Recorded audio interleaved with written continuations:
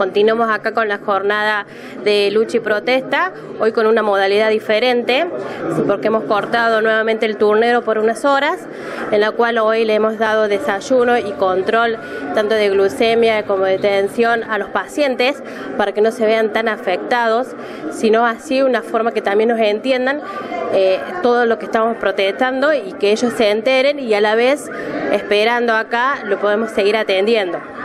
La modalidad que estamos utilizando en este momento es cortar el turnero junto con todos los hospitales de la provincia eh, para manifestarnos qué es lo que está pasando acá adentro. Estamos en este momento viviendo situaciones caóticas con lo que es la falta de personal la falta de recursos humanos y de insumos, eh, en la cual nos vemos afectados y estamos trabajando mal.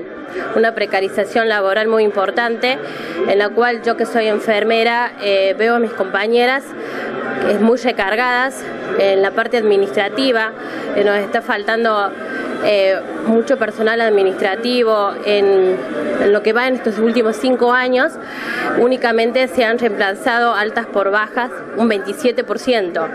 O sea que de un 100% únicamente nos han reemplazado un 27%, eso hace una recarga laboral muy importante y los pacientes son los afectados.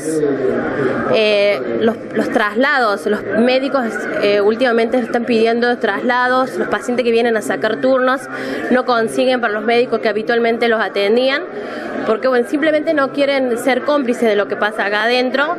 Eh, la falta de medicación, la falta de medicación en los pacientes ambulatorios, este es un hospital de alta complejidad, eh, donde están los pacientes trasplantados, vienen a las 4 de la mañana a buscar medicación y se dan con que únicamente les dan un 20, un 30% de esa medicación y no pueden suplir su, su tratamiento ambulatorio.